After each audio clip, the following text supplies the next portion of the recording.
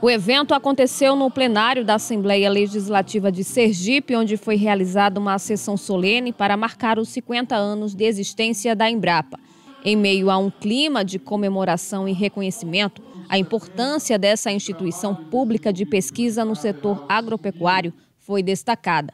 Reinaldo, o presidente da Associação Brasileira de Produtores de Coco, veio de Salvador especialmente para prestigiar a solenidade. Ele ressaltou a importância da Embrapa para o setor. O que nós temos hoje de tecnologia de produção de coco com a maior produtividade do mundo, a gente deve às pesquisas desenvolvidas pela Embrapa, especialmente essa unidade aqui de Sergipe. Então, estar aqui hoje para poder prestigiar esse evento, isso é fundamental para os produtores de coco de todo o Brasil. E essa homenagem que a Assembleia Legislativa faz à Embrapa, ela não somente é justa, né? ela realmente celebra e junta toda a comunidade de produtores de coco à produção científica né? e tudo aquilo de bom que realmente a gente tem em relação a essa cultura de coco. Durante a sessão solene, Lafayette Sobral, ex-chefe geral da Embrapa Tabuleiros Costeiros, foi homenageado em reconhecimento à sua longa trajetória e contribuição para a pesquisa agropecuária. A Embrapa foi criada em 73. Quando eu comecei a trabalhar, eu comecei a trabalhar antes de 73, fui contratado pela Embrapa em 1 de janeiro de 74. E hoje é um dia especial, porque é o reconhecimento do, da contribuição que a Embrapa deu para a agropecuária brasileira. Marcos Cruz, chefe-geral da Embrapa a Tabuleiros Costeiros, ressaltou a importância da celebração dos 50 anos da empresa, que representa um marco significativo para o avanço da pesquisa agropecuária no país. A Embrapa é uma empresa que busca o desenvolvimento da agropecuária brasileira. Né? Nós desenvolvemos é, tecnologias, processos agropecuários, metodologias, publicações. Né?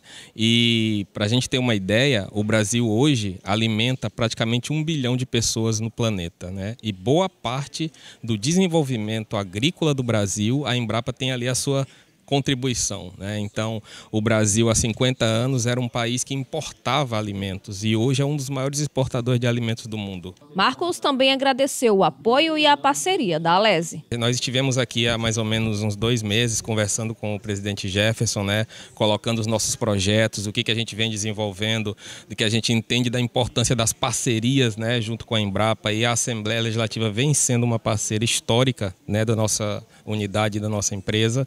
E então então ele sugeriu que a gente pudesse fazer essa solenidade, né, em homenagem aos 50 anos da Embrapa. Para nós é uma grande alegria poder estar aqui hoje, dividindo essa alegria, né, de fazer parte dessa empresa, uma empresa brasileira, pública, né, e de alta tecnologia hoje no cenário mundial de pesquisa agrícola. O presidente da sessão, deputado Garibaldi Mendonça, também foi homenageado em nome da Alese. Em seu discurso, destacou a importância da Embrapa para o homem do campo. A Embrapa vem fazendo um trabalho de pesquisa excelente, sempre fez. E são 50 anos, não é à toa. Né, que a Embrapa trabalha para o nosso país, principalmente para o nosso querido estado de Sergipe. Então, nada mais justo do que essa homenagem. No dia de hoje, esses 50 anos, aqui a Assembleia prestar sua homenagem, a homenagem do Poder Legislativo à Embrapa e todos os seus funcionários.